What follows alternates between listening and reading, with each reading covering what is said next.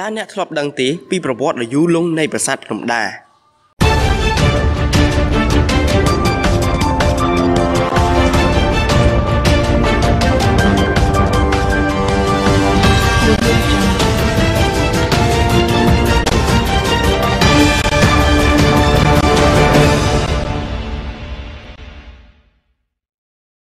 នៅលើភ្នំដែលមានកម្ពស់50ម៉ែត្រស្ថិតនៅក្នុងភូមិតាតាផ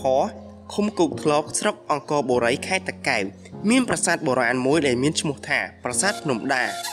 ដោយសារតែប្រវត្តិដ៏យូរលង់នៃប្រាសាទដែលមានវ័យចំណាស់មួយនេះបានអន្តងចិត្តអ្នកទេសចរជាច្រើនទៅទស្សនាព្រមទាំងអ្នកបុរាណវិទូនិងអ្នកសិក្សាស្រាវជ្រាវផងដែរ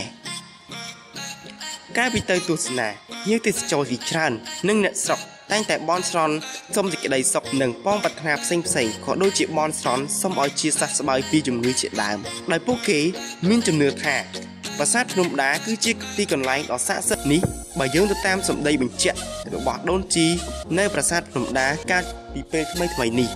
យោងទៅតាមលិខិតដែលបានចងក្រងដោយក្រសួងទេសចរបានឲ្យដឹងថាប្រាសាទភ្នំដាបានសាងសង់ឡើងនៅក្នុងសម័យហ្វូណនកំឡុងសតវត្សទី4ដល់សតវត្សទី6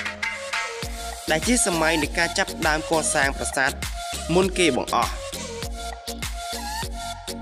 ប្រាសាទវ័យចំណាស់មួយនេះបានសង់ឡើងពីថ្មបាយក្រៀមថ្មភក់និងដីឥដ្ឋចំណែកឯកំពូលរបស់ប្រាសាទត្រូវបាក់បែកមួយផ្នែកធំប្រាសាទនេះមានរាងជាការ៉េដែលមានទំហំ12ម៉ែត្រគុណនឹង12ម៉ែត្រកម្ពស់18ម៉ែត្រ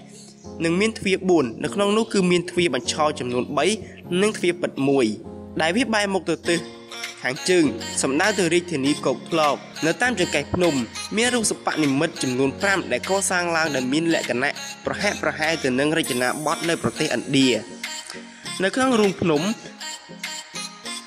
នៅក្នុងរូងភ្នំនោះ មានសេវលឹងនិងយោនីនាងឧមាដែលជាសក្ការៈសម្រាប់ឧទ្ទិសដល់ព្រហ្មញ្ញសាសនាដោយឡែករូងមួយទៀត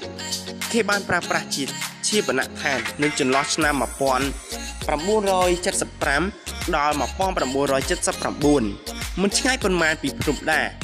មានប្រាសាទមួយទៀតដែលមានដែលស្ថាបនាឡើងដោយថ្មពពុះ3ជាន់ដែលបែរមុខទៅទិសខាងជើង ដែលមានឈ្មោះថាអាស្រមមហាអេសីប្រាសាទនេះបានកសាងនៅក្នុងរជ្ជកាលព្រះបាទវរៈវរ្ម័នទី1នៅសម័យចេនឡានាចុងសតវត្សទី6ប្រាសាទនេះមានទំហំ5.5ម៉ែត្រគុណនឹង5.5ម៉ែត្រនិងមានកម្ពស់7ម៉ែត្រនៅភាគខាងត្បូងឈៀងខាងលិចនៃភ្នំដាមានភ្នំមួយទៀតដែលមានឈ្មោះថាភ្នំបូរីមានរឿងព្រេងនិទានមួយចំនួន ដូចជារឿងបន្ថោងនាងនាគជាដើមដែលបង្ហាញពីភ្នំទាំងពីរ គឺជាទីតាំងនៃការចាប់កំណើតរបស់ប្រទេសកម្ពុជា ប្រាសាទភ្នំដានិងភ្នំបូរីមានចម្ងាយប្រមាណជាង100គីឡូម៉ែត្រពីរាជធានីភ្នំពេញ និងប្រមាណ20គីឡូម៉ែត្រពីទីរួមខេត្តតាកែវ